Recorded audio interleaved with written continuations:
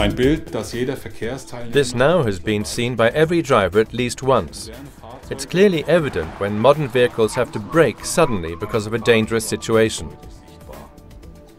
Bisher gab es Until recently, this safety feature was available only in cars.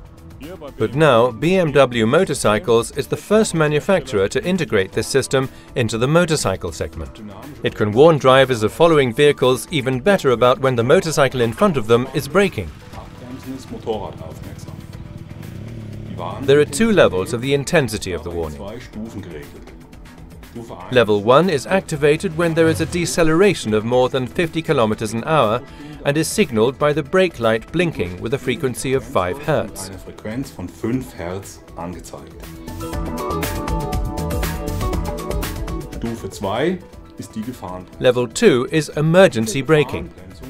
This signal operates at a speed of less than 14 km an hour and sets off the warning lights. zusätzlich die Warnblinkanlage. This remains active until the motorcycle again reaches a speed of at least 20 km an hour. 20 Kilometer pro Stunde beschleunigt. Besonders This difference is extremely easy to see in a direct Vergleich zu einem comparison with an identical vehicle without dynamic brake lights.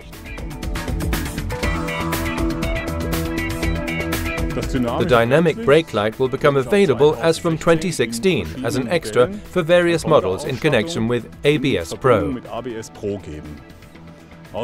In addition, we're going to offer this system as a standard in our luxury models K1600 GT, GTL and GTL Exclusive.